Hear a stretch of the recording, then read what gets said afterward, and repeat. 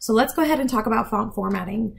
Um, in Microsoft Office Online 365, the Word version, you've got some font formatting features, but in the actual full version, you've got a lot more. So I'm going to go ahead and just open up a blank Word document in Word. Again, you're just going down to that Start menu, you're looking for Word on your computer, and you're opening up a blank document.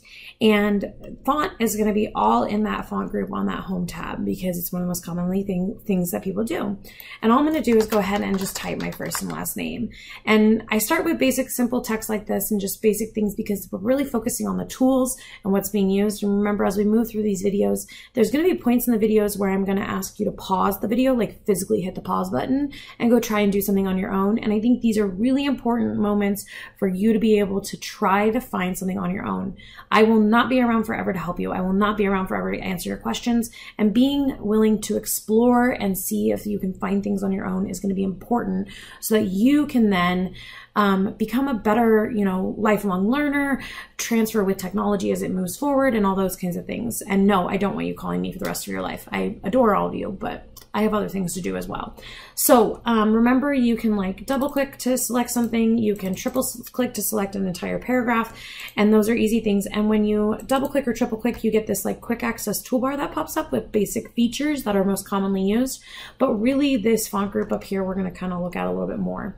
So if you recall from our lesson that we did at the beginning, we've got font, we've got size. You can shrink and grow, right? I can make things be a different font if I want to. I can can um, use this ability to make things like uppercase without even trying. So I'm just kind of formatting those things that we kind of already talked about. Um, and then you've got bold, italicize, and underline, which if you recall have keyboard shortcuts associated with them too. So I can hold down the control key and press B, I, and U, and that will bold, italicize, and underline as well, which is a great feature when you're typing in the middle of something and you don't want to go over your mouse. And then you've got the font color, which we've kind of talked about as well.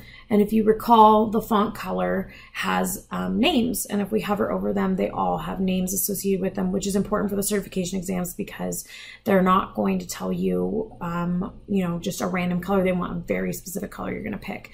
So they could say something like orange accent 2, darker 25%. So you want to make sure you get the right one. And you can apply those. And that's kind of like the basic features that we went over that all exist in the Office 365 version of Word Online.